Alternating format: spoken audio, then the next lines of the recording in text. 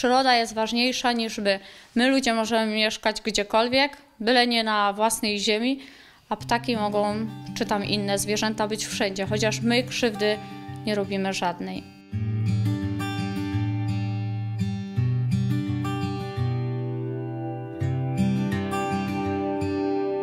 To jest budynek inwentarsko-składowy. Chcieliśmy właśnie z tego poddasza zrobić y, mieszkalne, żeby nasze dzieci miały lepszą przyszłość, my miejsce dla siebie, prywatność swoją, żebyśmy mieli po prostu lepsze życie, dogląd do gospodarstwa, żebyśmy mogli wszystkiego tutaj dopilnować. Bez pozwolenia nic nie możemy zrobić.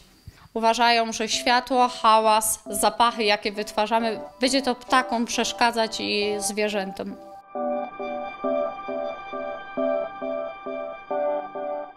Budynek gospodarczy e, nie ma wpływu negatywnego, a wręcz można powiedzieć pozytywny na e, przedmioty ochrony e, obszaru Natura 2000 Beskid Niski czy Ostajama Górska.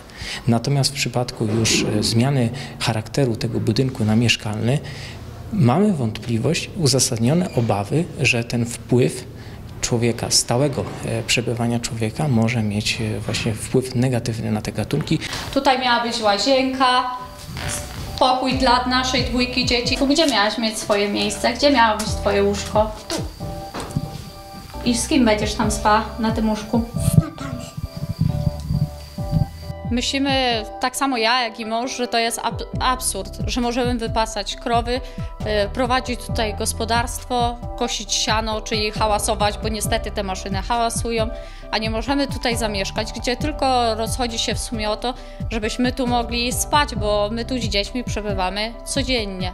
Jak żeśmy budowali budynek, zwierzęta przychodziły i nadal tak jest, że zwierzęta przychodzą, normalnie pasą się z krowami czy to sarny, czy jelenie. Stwierdziliśmy, że należy e, przeprowadzić taką analizę wpływu. I na tej podstawie możemy wykluczyć taki wpływ bądź potwierdzić. Tak więc e, nie bronimy e, zmiany charakteru tego budynku, tylko po prostu kierowani zasadą przezorności nałożyliśmy obowiązek sporządzenia raportu. Y, wykonanie takiego badania jest kosztowne i nie daje nam stuprocentowej pewności, że będziemy mogli tutaj zamieszkać. Wydamy pieniądze, których tak naprawdę nie mamy, a możliwe jest, że nawet nigdy tej zgody nie otrzymamy.